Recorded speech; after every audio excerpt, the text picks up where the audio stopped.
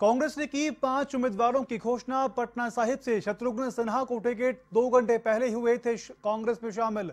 राहुल गांधी ने दिलाई थी सदस्यता। अब मिला पार्टी से टिकट। हिमाचल प्रदेश के हमीरपुर से रामलाल ठाकुर को पंजाब के खंडूर साहिब से जसबीर सिंह गिल, डिम्पा पंजाब के फतेहपुर साहिब से डॉक्टर अमर सिंह, पंजाब के फरीदकोट से मोहम्मद सादिक को टिकट दिया गया है। तस्वीर टैक्स के ज़रिए हम आपको बता रहे हैं, कांग्रेस की पाँच उम्मीदवारों की घोषणा कांग्रेस ने की है और किन्हें कहाँ से लोकसभा का टिकट दिया गया है, उसके नाम और जगह हम आपको टीवी स्क्रीन के माध्यम से बता रहे हैं। पटना साहिब से शत्रुघ्न सिन्हा को टिकट दिया गया है, दो घंटे पहले ही वो कांग्रेस में शामिल हुए थे। राहुल गांधी ने उन्हें सदस्यता दिलवाई है, अब उन्हें पार्टी से टिकट मिला है। हिमाचल प्रदेश के हमीरपुर से रामलाल ठाकुर को टिकट दिया गया है। पंजाब के खंडूर साहिब से जसबीर सिंह गिल। पंजाब के फतेहपुर साहिब से डॉक्टर अमर सिंह को टिकट दिया गया। पंजाब के फरीदकोट से मोहम्मद सादिक को टिकट दिया गया।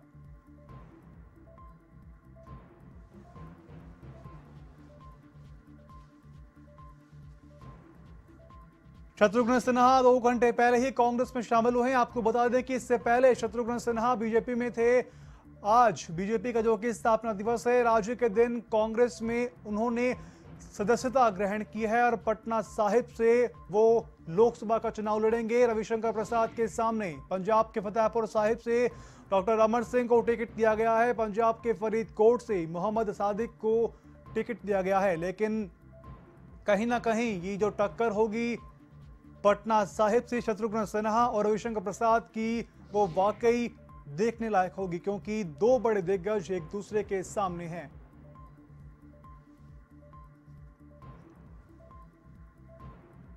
क्योंकि नामांकन, कुछ समय बाद चुनाव होने हैं लोकसभा के और तमाम तैयारियाँ नामांकन भरने के सिलसिले शुरू हो चुके हैं। हर जगह से नामांकन प्रक्रिया चल रही है। इस खबर के लिए अधिक जानकारी के लिए हमारे साथ फ़ोन लाइन पर जुड़ चुके हैं प्रीत प्रीत, बताएँ कि शत्रुघ्न सिन्हा आज कांग्रेस में शामिल हो गए हैं और दूसरी ओर भाजपा का आज स्थापना दिवस भी है। जी, बिल्कुल। भाजपा के स्थापना दिवस के दिन रौनक शत्रुघ्न सिन्हा ने कांग्रेस पार्टी का औपचारिक तौर पर पार्टी में जाकर शामिल हुए और आज के दिन ही उन्हें कांग्रेस पार्टी ने पटना साहिब से चुनाव लड़ने के लिए उम्मीदवार के तौर पर उतार दिया है। तो उन्होंने आज नवरात्रि का पहला दिन चुना था। पटना साहिब से चुनाव लड़ने के ऑफिशियल ऐलान का और साथ में कांग्रेस में औपचारिक तौर पर शामिल होने के लिए।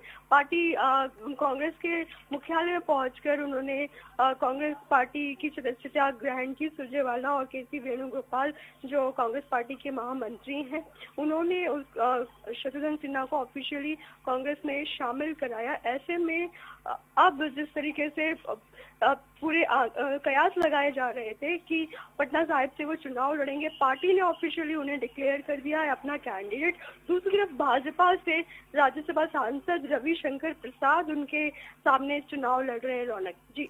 बिल्कुल प्रियत, रविशंकर प्रसाद उनके सामने चुनाव लड़ रहे हैं। तो किस तरह की टक्कर हम ये मान सकते हैं? क्योंकि दोनों ही अपनी अपनी जगह पर बहुत बड़े दिग्गज हैं।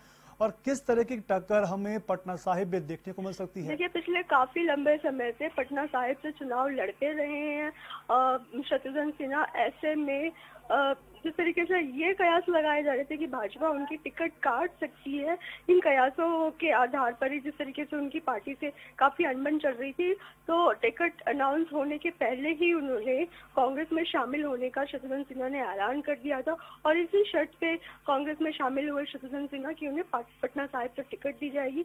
इतना ही नहीं, उनकी जो पत्नी है उनको भी लखनऊ से कांग्रेस पार्टी में शामिल करा के चुनाव में उतार, चुनावी मैदान में उतारा जा सकता है रौनक यानी कि प्रीत, बात की जाए तो बीजेपी छोड़ने का रीजन शत्रुघ्न सिन्हा का केवल पार्टी टिकट नहीं देना भी नहीं देना था या फिर और कुछ भी रीजन थे इसके? देखिए, पार्टी से काफ़ी समय से लंबे समय से नाराज़ चल रहे थे रौनक शत्रुघ्न सिन्हा। ऐसे में और काफ़ी नाराज़गी के बाद उन्होंने काफ़ी नाराज़गी तो ज़ाहिर की, लेकिन आला कमान की ओर से खासतौर पर अमित शाह और प्रधानमंत्री मोदी की तरफ़ से उनको मनाने का प्रयास नहीं किया गया। ये भी कयास लगाए जा रहे थे कि उनको मंत्री नहीं बनाया गया, इस वजह से वो नाराज़ थे। लेकिन उन्होंने ये क्लियर कर दिया आज कांग्रेस में शामिल होने के बाद शत्रुघ्न सिन्हा ने क्योंकि वो संघ परिवार से जुड़े नहीं रहे हैं संघ से नहीं जुड़े होने के कारण भाजपा के काफ़ी नेता उनको भाजपा में सम्मान नहीं देते और काफ़ी जो है, मनमुटाव चल रहा था। काफ़ी लंबे समय से नाराज़ बताए जा रहे थे। बागी नेता के तौर पे अपने आप को शत्रुघ्न सिन्हा पहले ही डिक्लेयर कर चुके थे। ऐसे में पार्टी छोड़कर कांग्रेस में शामिल होना ये महज एक औपचारिकता की रौनक। जी। जी, प्रीत तमाम जानकारी देने के लिए आपका बहुत बहुत धन्यवाद। ताज़ा अपडेट के लिए आप हमारे साथ बने रहें। संघ परिवार से वो जुड़े हुए नहीं थे, इसलिए उन्हें सम्मान नहीं दिया जाता था। ये बात भी एक बहुत चौंकाने वाली है कि अगर आप संघ परिवार से जुड़े हुए हैं तो ही आपको सम्मान दिया जाएगा। अगर आप नहीं जुड़े हुए हैं तो इलाज और किस तरीके की आपके साथ बात होती है, वो आप